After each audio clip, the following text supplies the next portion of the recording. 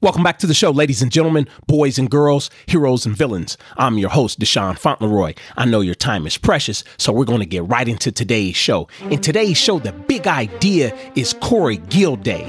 But before I get into him and this outstanding guest that I have coming on, I really want to appreciate everyone that's listening to the show. And if you're listening to me now, this is we're coming up on our 50th episode, and I know why you're still here. You're here because there's no hijinks, no shenanigans, or boring, dry ass presentations. Now, as I said before, the big idea today is Coach Cory Gilday. Of he's the owner of Gilday Sport Conditioning. This man has been in the strength and conditioning and sports performance field for over 14 years. He's worked with athletes from local high schools to the NFL, Major League Baseball, NHL, and NBA stars such as Shaquille O'Neal, Shaun Bodiford, and Slade Norris. He's also had the, the opportunity to train and prepare USAF Special Forces Operation soldiers of the 125th Special Tactics Squadron for the past two years. Now, I'm telling I got a real dog coming on. I'm going to let him out the cage. But before I go further, he has a master's degree in exercise science certified strength and conditioning specialist through the National Strength and Conditioning Association, a Russian kettlebell level one coach, Nike SPARQ coach, a USATF level one track and field coach, a USAW level one sports performance coach. I mean, you're hearing it here first. I got a real guy coming on that's going to give you some real information on the show today. I'm front loading the show because we have a lot to cover. We're going to be covering sport coaches versus performance coaches and the differences. We'll get into sports specific training, dynamic correspondence, and carryover. The importance of in season strength and conditioning, thoughts and research on static stretching, and the programming differences for youth, middle school, and high school athletes. So without further ado, I want to bring Coach Cory Gilday on to the show. Coach, what have you been up to lately? I, I, know you've made some adjustments to your to your gym over there in Vancouver. How's your day going? Good. I'm just uh, just working my uh, working my system. Uh, getting you know, pro, obviously the summertime is a really busy time for me. Working with high school athletes, getting get to, to predominantly high school football, but obviously working with volleyball and you know, we're doing phase one of basketball right now. People, I have a couple NFL guys, CFL guys are trying to get ready for um, camps and or uh, tryouts. So kind of a kind of a, a uh, mixed pot of everything going on right now. Yeah, I know you stay really busy, man. It's been a while since we connected. I think it's probably been about two years. I remember interviewing you on camera, you know, uh, for Pro Force Athletics. I'll have to put that link into the show. There was actually two parts to that, and I thought that was uh, that was that was a real good conversation for the both of us. I thought it was kind of funny because I uh, I put the House of Cards soundtrack on one of those you know, um, a lot of people appreciated that, but I could see you're busy, man. I know in a prior conversation, we wanted to, uh, we were discussing sport coaches versus performance coaches and the differences. So I wanted to get your thoughts with that and go into a little more detail and understand it from your perspective. Well, you know, constantly, whenever I have parents or coaches come in with athletes, they are uh, trying to tell us how they want a drill run, or my coach says I should do it like this. And in nine times out of 10, that coach's recommendation or want is incorrect for proper sport carryover. And it's, you know, we always talk about staying in our lane when it comes to performance training, when it comes to um, when we we don't we don't coach kids to catch footballs. We don't coach kids to hit baseballs. We don't coach kids to hit a volleyball. We merely train the engine that allows them to do it quicker, faster, stronger, with less injury. It's the coach's job to teach the technique. Now we do some integrated carryover to make sure that we have the most amount of carryover when it comes to the field when we do drills. But some coaches are just in love with certain drills because they think uh, it's going to carry over the field faster. perfect example are speed ladders. I use speed ladders. I know you use speed ladders, but they're probably the most overused tool I see out there. I see people do speed ladders all day long, and I'm like, what are we doing? Why are we doing all these drills? It does not correlate to quote unquote fast feet, and that's not the that's not the mechanics we're using on the field. You know, we're not staying that narrow. We're you know, we want proper shin angle both in multi-directional linear planes to change direction. Yes, we're going moving fast. I think it's I think speed ladders are a phenomenal tool for warm up to get people used to get to moving fast, but as far as carryover, not there. I have a phenomenal assistant, uh, Coach Andrew Pompey, formerly of Portland State. He has been my right hand man since March when he, he came on. And we had this conversation with another coach talking about all these coaches want choppy steps in the drill on these cone drills, but it doesn't teach proper sports performance movement. It just doesn't. You know, I'd rather teach you proper loading and uh, unloading out of a, out of a cut the right way. But you know, sometimes we kind of get bullied by sport coaches or parents because parents want to see what the sport coaches do. So, and they, you know, obviously they pay our paychecks, so sometimes we change stuff. So I just wish that sport coaches would understand. Hey, you teach the sport, we'll teach the the performance aspect, and we can all we can all everyone can get better. You know, I, I agree with you with the part about the ladders. I, I almost never use ladders. You know, the only time I might use ladders, it might be on Thanksgiving, Christmas, or New Year's when I do uh, special trainings and we're doing some type of game or competition or relay race. And the reason why I can say that with 100% confidence is that I've never found any literature through the uh, National Strength and Conditioning Association or through the American College of Sports Medicine or, or, or any other uh, journal of exercise that says that using ladders will help you get faster and create more force production for linear sprint training or even um, lateral sprint work. So, uh, you know, I, I agree with it, it, looks fancy, it looks cool, but where does it really get you? Yeah. You know, so I can agree with you 100% on that note. And a shout out to Coach Pompey. I've met him a few times, man. I, re- I can really appreciate him. I mean, I, I would say maybe for younger kids, the speed ladder has a greater just for variable movement. But as we get older, when it starts to looking really fancy, it doesn't. I don't think it really matters. We've all seen the videos of like I think it's a gentleman running speed ladders and quick feet in the sand. He looks really fast, and I, I, bet you that guy freaking bags groceries during the day. He doesn't play in the league. Looks awesome, but it doesn't mean anything. And he probably couldn't get off a, a jam for a high end from a high end cornerback and get upfield and run a quick, quick slant and catch a ball coming at 60, 70, or 80 miles an hour. Yeah, I don't. You know, I don't care. I mean, so I, I, do I do agree with you about the ladder, especially when you're talking about like uh, youth athletes just developing foot and eye coordination. Yeah, I think it has a place for those kids. Yeah, it's a phenomenal tool for that. Um, another thing with ladders too is you know me, I'm all about I want neural fatigue is a big part of training with me, and people under, wonder why I don't do longer set drills, and I'm like I want my neural competency and my coordination to be up there at the highest level at all times. And I want to start building the volume to there. I'd rather have 100 great micro reps than 50 kind of crappy longer reps. I'd rather just shorten it up and give more reps. You know, these I see these ladders that are 15 feet long, and I'm like, oh god, my my ladders are five feet long. Right. You know, if if that. So it's it's quick and out, quick and out. So yeah, def- definitely. If you're going to use them and you're training football athletes, average play is going to last four to six seconds. You can argue five to seven, but you're in and out of the ladder in that amount of time. You know, you, one of those things too. Talking about sport coaches and performance coaches staying in the lane. Um, a great example: Coach Charlie Strong got to Texas, and I knew he was this going to be a disaster when it happened. You know, when he got, I think he went to, he came in and he goes, "We're no longer going to run all these quick plyometrics and explosive lifts." We're uh, we're going to lift super heavy and we're going to run the mile because I want my guys strong and have good endurance. I'm like, and I, I saw that quote and I'm going, you have no idea what you're talking about. You know, that's and and and I believe the UT. I, I felt so bad for the UT strength coach. I don't even know who it was at the time that had to deal with that. They had to like come up to with a Division One coach and go that you're wrong. That's not if you want that. That's not how we're going to accomplish that. Right.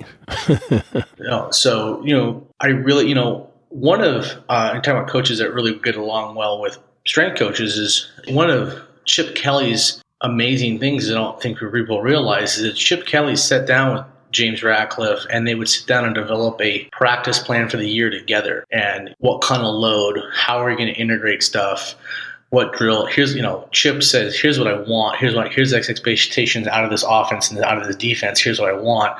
I need you to train it accordingly. And James Radcliffe went upon the plan to develop that. You know, with that linear based sports medicine model. That's an appropriate model. A lot of programs have what's called a vertically loaded. You know, sport coach says this, athletic training program says this, the orthopedic said this, and then the strength coaches put their piece in, and it kind of hopefully comes out. With the linear based model, horizontal or horizontally based model, everyone's working together to get the outcome. Not not it's not the sum of them. You know, so everyone's working together on a program. That's where it's appropriate. You know, it's when you're constantly fighting against what people are doing. I was at a conference a few years ago and Coach Brian Miller, who's a really awesome strength coach, I believe he's, I want to say he's at Nebraska now or somewhere else. Um, he was telling me that they would, uh, he was at Oregon State at the time, would would have a certain load on their training and you know kids come in and they say hey we're, we're, we're exhausted. We can't do this workout. It's like why not? Well our coach made us run wind sprints when it wasn't part of the practice plan and it just mm-hmm. wrecked their entire programming. So it's one of those things where if you want to be a sport coach coach a sport. When you have qualified strength and conditioning professionals in your quiver. Use your arrow. Don't don't think you know better than the person who does this for a living. You know, I, I agree with you 100% about uh, sport coaches and performance coaches being on the same page.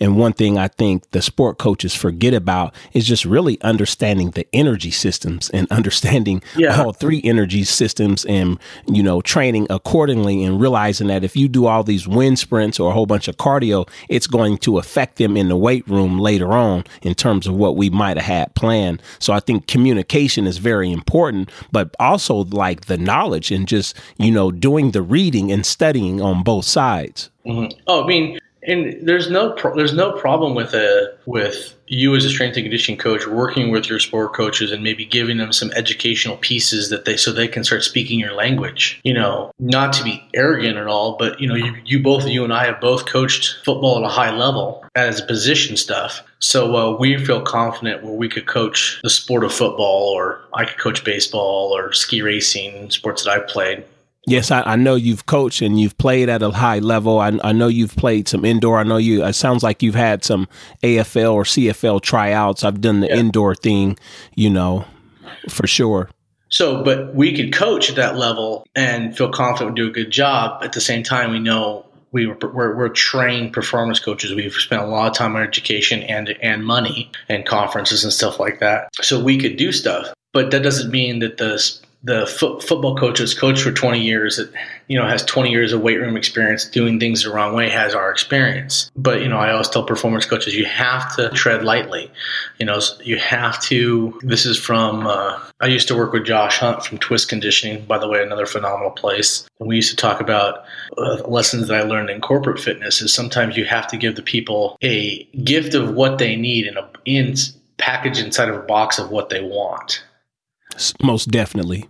So, you know, sometimes you have to give exercises or the appearance of what the coach asks for, and you're trying to slide in what they really need. Because, you know, in the collegiate setting, pro setting, you got to keep your job your your your moral compass and your program integrity only goes so far if you're sitting on the street not training anyone. It doesn't help anyone. right, right. I get it. I'm laughing, but it's not funny. No, it's. I mean, that's one of the reasons why I own my own facility is because you can't. You know, if you don't want to train me, fine. This is what I this is what I offer, and I show results. But you know, trying to work with coaches and what we're doing is uh is sometimes a hard thing. Like they, they're so stuck in their ways of this is how we've always done it, you know. I know you've worked in corporate fitness too. And just remember that, that that guy you walk over to lap pull down and you tell them they're doing it wrong and they say they've been doing it for 25 years might also be a high school football coach with the same mentality when it comes to how they work with their team. So we have to be cognizant of how we, we work with sport coaches. It's better to try to educate them. And, you know, I'm trying to do coaches clinics and teach them about proper, you know, proper conditioning and the importance of it and give them literature to understand stuff. At the same time, I want to make sure that they don't just because they read an article on stretching or training that now they're not, they're not an expert. right. You know, I wanted to switch lanes, uh, coach, and I know we were talking about the ladder earlier, and that might get incorporated into this, but I want to hear your thoughts on sports specific training. In the NSCA literature, they talk about dynamic correspondence and carryover, and how some of these words get twisted from the original meanings, especially from the Eastern European bloc. So, talk to me about sports specific training and carryover you know, so when we're doing sports specific training, we, we got to look at a couple different phases. So, you know, we, we want to have a basic level of strength, relative strength, and then our sports strength. And we're constantly, you know, like coaches constantly looking for the carryover. How are we going to make my football player better or, or my ballet dancer better? And when we're talking about like sports specific exercise, it depends where my athlete is in their training age. If I have someone who's never lifted before, I don't care if they're an NFL football player. Their workouts may look like a 13 year old who first walked in the weight room as far as exercise selection. Now, the likelihood of an NFL football player never lifting weights before is very unlikely, but you get my understanding. You, you have to learn to frame before you build, for, before you put the walls up. You know, I see, I think you remember this a few years ago when Nike had Adrian Peterson pulling like 12 speech parachutes. yeah. epidemic of these parents buying all these extra speed chutes with kids and they're running with speed chutes and they're running with horrible form, obviously have zero strength, relative strength in their bodies. So running with a chute doesn't do anything. There's no carryover because it's not doing anything. So when I'm looking for sports specific carryover, it needs to be in, in part of a program. You know, we're looking for transfer. You know, we always say the front squats more superior than a back squat is to sports performance because of the loading is more towards the front part of your foot, they're knee dominant and, and whatnot. Yes. But I think that we we will get in patterns in the sport where the back squat will help us. You know, greater neural drive, things like that. You, it doesn't mean you shouldn't program back squat. It just means the volume of front squats may be higher than they are in back squats, or single leg Bulgarian versions are, are going to be in there. You know, I really want my athletes, whether they're a soccer girl soccer player or a um, high school NFL football player, no matter who you are, before the volume of sports specific activities, I, you know, i.e., medicine ball tosses to one leg or or multi-directional jump heightens and or whatnot that really have high carryover. You know, I want all my athletes relative to who they are to be able to pull off the ground, deadlift one and a half to two times their body weight, squat one and a half to two times their body weight, and get close to bench pressing their body weight and doing at least eight to 10 body weight pull ups. I want that type of strength out of all my athletes before we start getting crazy into going specifically into sports specific stuff. On the other end, um, there's a great story. I think you and I have talked, told the story a few times, where uh, uh, running back Dave Meggett from the '80s. I um, remember him. Yeah. So uh, Mel Siff, I was super training. Mel Siff, but uh, uh, Al Vermeil, Al Vermeil from uh, at the time of the Giant. He I think it was the Giants and Eagles, and he I think Dave Meggett the time at the body weight of 185 had squatted 585, which is amazing. And Al Vermeil, he's a strength coach. I, I, I want to say we're familiar with him at the clinic where he has that pyramid model. At, yes, exactly. Yes, he has a lot. I, I I like his style, and I usually start with there with the symmetry and balance at the bottom. Exactly. Uh, but so someone goes, "So is that a big? Is that a good enough squat?" And and and, and Al goes, "I believe it's." They're talking to strength coaches and goes, "That's good enough. We don't need to. We don't need to focus on getting stronger anymore." You know. So for Al thought, okay, 585. There's no. The focus should be on sports specific at that point. There's no. There's no really point in adding, giving, working on getting any stronger. He should kind of maintain that general strength that he has now, and build off of that. I think the mistake coaches make with youth athletes and high school athletes is we don't make them as strong. We don't, you know, basically make them as strong, as flexible, as pliable. You know, teach kids about proper tissue quality. Um, I'm going to give a shout out to Bill Lesueur of Flexibility Pros. He's an amazing body worker in Arizona. Is constantly talking about muscles won't tear if they're pli- if they're if they got good pliability. So teach kids about and parents about you know massages are massage is important. Self massage is important with foam rolling, with IASTM with your self scrapers, teach them how to take care of themselves, Teach them how to stretch appropriately. If you if your tissues are in proper zone, you're not going to get hurt, or the injury is going to go way down. So we teach basics to kids so that they get to that relative level of strength, and then we can get sport specific, and it comes really easily. I see these sport performance coaches really struggling to teach these cool exercises that look sexy on the on film that they can do because they're strong, and they're trying to teach it to a 12 year old and it looks like garbage because they don't have strength to do that. Right, or the or or the uh, muscular control to do it and coordination. Yeah, so you, have, you, build that stuff in the basic patterns of exercise. Uh, it's the point, and I'm not saying that we're not focusing on sport, a of sports performance, sports specific exercises when we're in here. It's the it's the emphasis of what we're focusing on during training you know, during what phase we're in. If we if we've gone through the relative strength and we hit these those benchmarks, then we're going to start transferring. You know, the, the the volume of work will start going more towards higher carryover, and also the higher carryover. You know, with the uh, the uh, Anatoly Bondarchuk's always talking about spending blocks of time with your sports specific stuff, and same with basic loads to build basic patterns. Don't spend time trying to relearn stuff that doesn't have a lot of carryover. Like you, you probably spend more time with Olympic lifting than I do. I'm spending a little bit more time now because I have Andrew to help with, uh, have multiple eyes on target. Yes. You know, I'm more of the DeFranco model where I can develop power and total body power. Other drills that don't take as much skill acquisition because sometimes I don't have the time to teach the skill skill acquisition. So it's just depending on. And I'm not saying cleans are cleans are amazing. Olympic lifting Olympic lifting is amazing but sometimes I don't. I want to spend more time on other on other aspects of training, and that's just my preference. Yeah, you know, and you know what's interesting about that man is, as I'm fortunate enough to have an outstanding intern and um, a future coach with Trevor Sackman, who interned at uh, University of Oregon with uh, Coach Radcliffe. So a lot of what you you do see that, but there's like what we were discussing earlier. There's a lot that you don't see, and what I mean by that is we literally have like a 40 to 45 minute warm up. I mean, we might train for 90 minutes and 40 of that will be part of our warm up because it's a six phase dynamic warm up mm-hmm. where we start off with jogging and then we'll go through a DNS crawling series. And then after that, we'll do the soft tissue work. From there, we'll get into some of our mobility drills. If we want to get into some static stretching at that point, we'll do it. But from there, we'll get into some hurdle mobility. And then from there, we'll go into a dynamic warm up. And then after that, we finish with some light uh, central nervous system stimulation drills like light jumps, you know, or some medicine ball slams or tosses and or some light sprints. Yeah. You know, but uh, that is like taking more time in the warm up, including the soft tissue with the mobility work I have found like I don't have any injuries. And then when these kids are going out on the field, their hamstrings are not pulling up on them. They're not twinging. The ones that aren't consistent, hamstring pulls, hamstring tears all of the time because they don't take the time.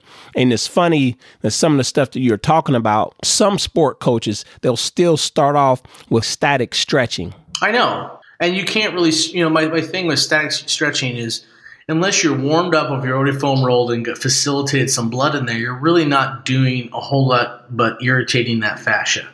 So it's not the old school time. I mean, like I said, I think static stretching, when first that research came out where static stretching inhibits neurally, you know, they did the strat, the research of uh, right after static stretching, your, your, your force production goes down. Well, again, I've read the research. I actually seen what the protocols are. They essentially put someone in a race to put them in a, a deep quad uh, stretch for like 40 seconds, like pretty uncomfortable thing, and then have them go try to do a jump. Well, my thing is if you foam roll, do static stretching, dynamic warm up, and get re reintegrated, get the get everything lined back, up, get the myofibrils relined up with integrated back in. Static stretching is not going to neurally inhibit you, not for your workout, but you need to be slightly warmed up and have tissue quality ready before you start approach statics. I think static stretching is amazing at the end. It's amazing to do when you're watching TV at home and you foam roll and work on some mobility, work on some FR, you know, uh, FRS, uh, functional range series, doing things like that. Those are when it's really viable. And or if you have some, we all have athletes. You know how I'm built. I my I have a serious upper cross because of all the benching I do. I should always stretch my chest before I do any drills so I try to get into alignment. So you have people with corrective issues, that's fine to stretch them, but don't just do a full body stretch. It's stupid. You know what? I want to transition, man. We talked about this before the importance of in season strength and conditioning. And I know this is a huge one for you, man. So let's talk about it. Okay, so you know, all, the time when I have people sign up or working with people, oh, training they have season. I'm like, well, they need to train during season. It's like, well, we don't have time. I don't want to get them tired. I don't want to get them injured. I'm like, I said, if you train hard all the way to season and then you stop, you're going to start losing goal gains about two weeks in. You're going to almost be back to square one within four or five weeks. So why are we? I, I agree. You know, that's a one of the main reasons why I really adopted James Radcliffe undulating periodization model because you know he said we're not trying to peak these guys to be graded for September 8th against Sacramento State. We want them to be great against Alabama in the national championship game. So we can undulate and constantly get better during season two. The New England Patriots strength coach had them squatting at 90% 1RM two days before the Super Bowl let, let that marinate with you. The NFL football players through a long ass season were squatting at near 90% 1RM two days before the Super Bowl. Yep, and they'll be recovered by that Sunday. Yeah, and it's because hours they're constantly training and they're working on stuff and they're training to get better constantly. I always tell my, one of my analogies. I don't know if you've ever heard me say this. It's like nothing in life maintains itself. A tree either grows and prospers or dies and withers away. There is no maintenance. You're either getting better or you're getting worse. You pick what you want to do. Right. You know, one thing, you know, for those coaches that might be listening right now and parents and athletes that are listening, Coach, I want you to explain the difference between linear periodization and undulating periodization for our folks out there. So traditionally, linear periodization created by Vladimir Issurin is they have blocks. So like a three one, three month general preparatory phase where you work on your general conditioning and overall just overall training, get ready for the phases, and then we go through basic strength, max, you know, general strength, max strength, max power, strength endurance, whatever you want to set up. But it's set up to set up for a competition period where you're at the highest level. It's a it's like over nine months exactly.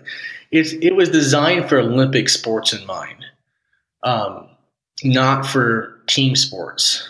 It's been adopted by team sports to do it. And what happens, team sport coaches in the past, in the 80s and 90s and 70s, would just do the linear periodization and then would just do a maintenance phase, doing the same exercises three times a week just to maintain general level ISO to maintain the level of decay and the performance to slow down. James Radcliffe is essentially taking the blocks of a linear periodization and shortening the blocks and constantly rotate them. So we're constant. We're not working on power just once, one time in the once or twice in a year period. Maybe we're working on six or seven times. We have strength blocks, but we're constantly. We're not spending too much time as to overload the nervous system and create overtraining or fatigue or so we want to get to overreaching, but not to overtraining, and then we yes. constantly recover. So we can constantly get better through the season that way. I love this. I love that system too for high school athletes because kids come in in January, they want to train hard for football. Sometimes they have other sport comp, uh, obligations come up, whatever comes up, and it's just a matter, you know, they, I constantly want to do this so they can constantly get different phases and characteristics in throughout the year. So they're constantly getting, they're adapting to different types of stimulus. Not just, you know, if you do basic linear period block periodization, sometimes you're only getting the, the GPP model or you're only getting a hypertrophy phase when you haven't got the other stuff involved and it allows me to intake athletes at different parts of the year very easily because I'm constantly working through that. I like that, man. Um, I think we have a lot of similarities going on because the training, or or I I, I, guess I would say the the methodologies that I use are generally somewhere between um, Cal Dietz triphasic training and the West Side barbell system. Yeah. You know, and I know uh, you Mike Boyle fanatics out there. I have a, a lot of Mike Boyle's material. We I'm get a lot of single limb movements in every single day. It's just we show you what we want to show you. Yeah. You know, but believe that that's being done. Yeah, Mike Boyle, you know this. Mike Boyle is a uh, is definitely mentor, and I try to model a lot of stuff. I love how he does his business. I love how he does his training, how he explains stuff is is I think phenomenal. It's always one of the very first books I recommend to in my interns is to read his advances in, in functional training and his new in his new model as well. It's a phenomenal book to understand uh, how to actually be a performance coach. You know, yeah, that new functional training for yeah, sports. That yeah, other Triphasic stuff is amazing. A great great way to set up workouts. I like pieces of uh, Westside Barbell's conjugate method all the research and from lifters I said, and I, and I have the tremendous amount of respect for Louie Simmons. But what I found is the pure West Side methodology doesn't work very well for non-geared lifters. True. I mean, True. I'm using, I, I, you know, I've obviously adjusted it. Yeah, I'm using geared in both definitions of what I mean by that. You guys take that what you want with it, but you know, because I don't think you can max effort your lifts two times a week consistently and not experience neural overload unless you're getting some type of aid. So certainly, you know, unless you're a freak. And then, so, you know, so I know that when I lift heavy long term, eventually my body goes, Hey, let's go do some yoga. Yeah. so, you know, like Al, Alwyn Cosgrove is, always talks about like, if you like it, steal it. You know, there's nothing proprietary in this business, and it shouldn't be. We're trying to always get kids better. You know, especially me. I'm just trying to get kids better. Right. You know, I have my system, and I used to as a younger coach. I'd grab, I'd, I'd go to a conference, and I'd change everything I do. I don't change stuff anymore because I have a way I want to do stuff. I'll see different modalities, like, oh, try that. I think I, I like that fits my model, but you got to figure out what works for your methodology and your personality. Every coach has different personalities, and coaches need to be aware of that. It's like figure out what works for your personality. You know, you need to be something that really fits you. I'm also a huge Bosch guy. You know, teaching about if uh, you want to learn how to get kids, kids faster, read the book Running. Yeah, you know, I have that. We've talked about that several times, man. And I, I bought his whole DVD series too. Uh, I found that to be very good. Used a lot of his concepts with Julius Schellmeyer on his journey to the uni- between um, Grant High School, Southern Oregon, and University of Oregon. Man, you know, um, tell the people his book again, Cory. It's running by uh, Frans Bosch, and it's um, don't buy it thinking it's about long distance running. It has nothing to do with long distance running. it's all about sprinting, and he'll go through the physiology of talking about linear subsystems and stiffness. You know, one of his biggest biggest takeaways is trying to teach your body to be stiff on the drive leg and very fluid and relaxed on the as you as you're, as you're preparing the, the preparatory leg, and teaching that you know how to be stiff and fluid at the same time. And you know, there's different ways to train sprinters than there are train football players. So you know he yes. he modifies some of the squats and stuff like that. But you can use that as you get closer to season for football players. They don't need to go deep squat right before season. You know you can maybe work on explosion and, and work and use those exercises to maximize force production with those guys. There's there's nothing wrong with using pieces of that. There's no not not at all. I tell people the worst thing in our in the exercise science field is is dogmatism if you're if you're a dogmatic type person on a certain program, I don't want to deal with you because you won't keep your mind open. I want a pragmatic, the pragmatic approach where we're constantly working on trying new things, open to different ideas. Yes, what's going to work? You know, I trained Shaquille O'Neal in 2003. The program he did at the time was based off of my best, most the, the, the science available to me. I have the file still, and I look at it and go, "What the hell was I doing?" I'm laughing because I've been there too. And sometimes I feel guilty, you know, for those athletes, but that's the importance of learning and getting better. I'm like, man, I wish I could have trained you with these methodologies that I know now. Yeah. Even with uh, Nisha Bomahim, I did uh, some sprint work with him when he was re- recovering from uh, his shoulder injury after being released from the, uh, the Saints after a few seasons. And he was making another run. And I'm like, where I'm at now, I'm like, damn, I wish I would have knew this stuff then, but I had the most available material out there, so I know exactly what you mean, man. Yeah, it's not that he didn't get results, and I got, but I it's like I could have done so much more. Right. So I mean, you, you know, my I think the final thing you, you take away is constantly evolve as a coach. You know, and and find what methodology works for you. You know, I have I have I've been a Boyle guy for a long time as far as how I set stuff up and how I approach stuff and how my workouts look a lot like it, like the the organize workout organization, because it works for my business model too. So, you know, I wanted to ask you, man. What what are some of your thoughts on programming differences for youth, middle school, and high school athletes? Okay, so you know, since I know we're running out of time, but um, the uh, the biggest issue is youth athletes are not pro little mini pro athletes. Say that one more time, coach. I said youth athletes are not little mini pro athletes, so don't treat them like that. You know, you know, it comes back to we talked about the Adrian Peterson won 12 parachutes and then seeing a 12 year old win 12 parachutes. You need to program based of what they need. Um, if you don't know how to train youth athletes, great book, Building Youth Champions by Dr. Joseph Drabik. Read it. It'll teach you what kind of skills they can acquisition at. I start training eight years old. My eight year olds don't touch a weight besides a medicine ball for nearly five weeks. They have PVC pipes and medicine balls, foam rollers, and body weight. Exactly. And they learn how to move. And they, a lot of it's game. You know, sometimes we do a lot of competition stuff about having games. You know, you know what? Before you go further, man, you see a, two of my older athletes, Logan Wilson and and Gabe Hambrick. Like those dudes, I got one in the middle of seventh grade and one at the end of his eighth grade year. They're at the end of their freshman and sophomore years now, but they literally started for months with me with PVC pipes. And now you're seeing the the effects of the progression of me taking them with the PVC pipe to a 15 pound training bar to a 30 pound training bar to the 45 pound training yeah. bar and adding fives and tens and now they're cleaning real well like next year we're going to compete we're going to a competition or yeah, we're going to do some olympic weightlifting. no i tell you that's uh, really going to tell parents i don't train your eight year old or 10 year old to be better as 11 year old that's not my that's not my i'm not interested in it if that's your interest then I don't, don't train with me? Because i'm about long-term athletic development. Yes. If you're coming at eight or nine years old my goal is to make you the best junior senior in high school. Because you know, obviously the the step one of that is I want to go to the next level beyond high school because I want to get good at high school sports or whatever sports that that you're in. Okay, awesome.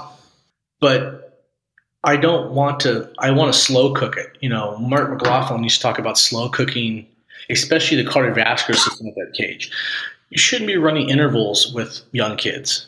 Build their build their cardiac muscle correctly don't have it hard and you know you, you understand that if you run intervals as a young kid like you're gonna actually hinder their cardiac cardiovascular development for the rest of their life just to get better cardiac output for their upcoming youth soccer season that to me is criminal understand how physiology works or don't play the game you know uh, we're getting into the to the two minute quarter yeah um, I wanted to ask you, man, um, what is one piece of advice that you would give to sport coaches and strength coaches? Talk to each other. Talk to each other.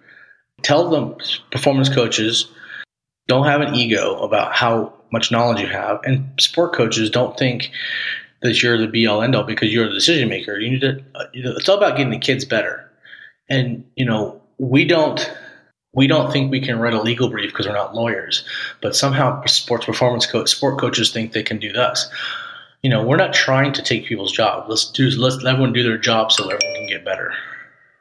Yes, um, two, just have that line of communication always open. Two book recommendations, Coach.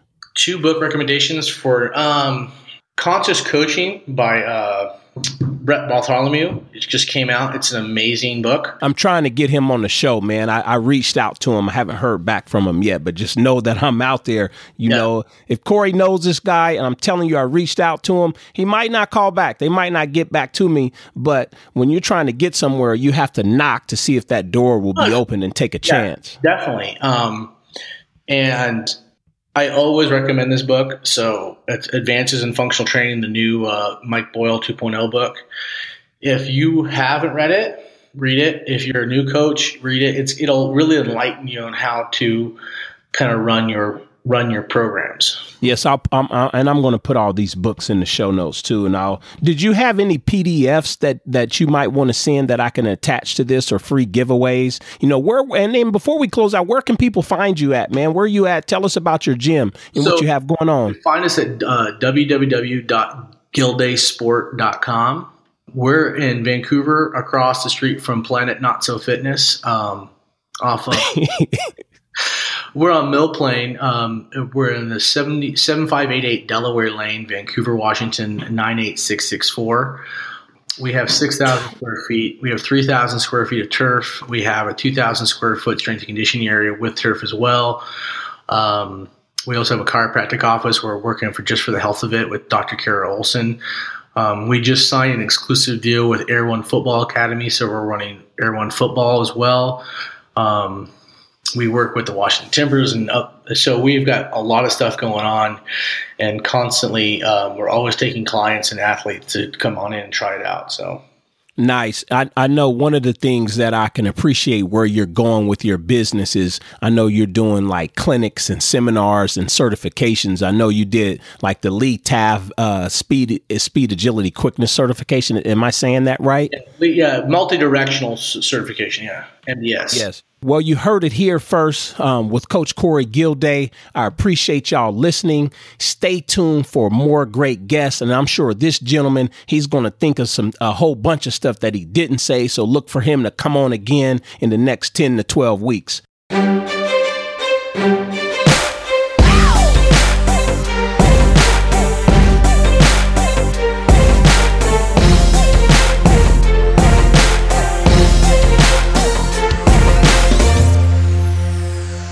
My role is to help student athletes develop the mental skills for success in sports, which carry over to their life as well. I work with normal people who are under additional perceived pressures to perform in their sport. My goals are to teach student athletes how to be more confident, focus better, stay composed under pressure, practice more efficiently, and develop more effective pregame routines. I become an I become an extension of the athlete's support team. Unlike a psychotherapist or psychologist, I do not use couches, prescribe medicines, or work with abnormal behavior. The main difference between my sports mastery program and a psychotherapist is that I work with athletes on sports performance enhancement. I tend not to get into personal challenges such as divorce, breakups, grief counseling, or abnormal behavior. Although those areas of life do affect sports performance, when need be, they are addressed. My philosophy is that you cannot separate the mental from the physical when it comes to performance.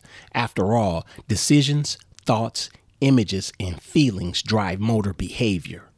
So, how do you know when you need or can benefit from my sports mastery program? My goal is to help the student athlete identify barriers to hard work, identify barriers to teamwork, and enhance sports performance by improving mental skills for success. Do you have any doubts about your sport before or during competition? Do you get so anxious that you don't have a calm mind or think straight in competition? Become easily frustrated when things do not go according to plan? So, when you consider these questions, the next obvious question is this When is my sports mastery program needed? You don't perform well when others are watching you. The sports mastery program is needed when you maintain doubt about your sport before or during games. You feel anxious or scared when you perform in competition. So, how can the student athlete benefit from the Sports Mastery Coaching Program? They will have improved focus and the ability to concentrate and manage distractions. Develop systems and strategies to increase confidence and eliminate doubts and fears. Develop coping skills to deal with setbacks and errors. Find the right zone of intensity for their sport the student athlete will also learn to develop and enhance communication skills. The student athlete will benefit by learning to develop a healthy belief system and identify irrational thoughts. The student athlete would also benefit when they learn to improve and balance motivation for optimal performance, develop confidence post injury. The student athlete will benefit from my sports mastery program by learning to identify and enter the zone more often. At the end of the day, my sports mastery program does not apply to a wide variety of athletes. This program is for the serious athletes only. Most of my student athletes are in junior high, high school, and college. However, they are highly committed to excellence in seeing how far they can go in their sports. My sports mastery program is not something they need, it's something that they want. These student athletes love competition and testing themselves against the best in their sport. They understand the importance of positive attitude and mental toughness. These student athletes want every possible advantage they can get, including the mental edge over competition. The first thing we do is identify the student athlete's hopes and dreams, pains and fears, and barriers and limitations. This serves as a guideline and helps the student athlete to think about mindset.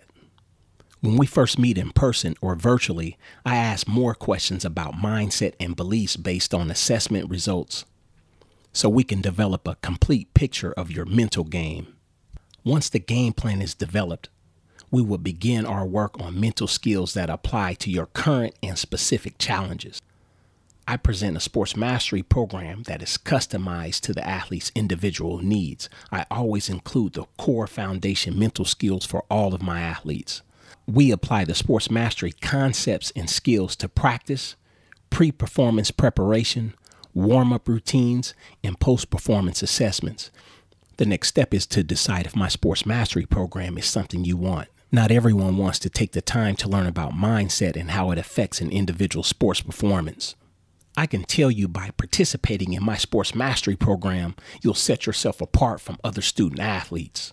I help the student athlete transform shake their limiting beliefs, silence monkey mind chatter, and equip them with the tools to succeed. Sports Mastery will provide you with the tools to maximize your game in competition and in the classroom. To learn more, visit sportsmastery.com slash coaching.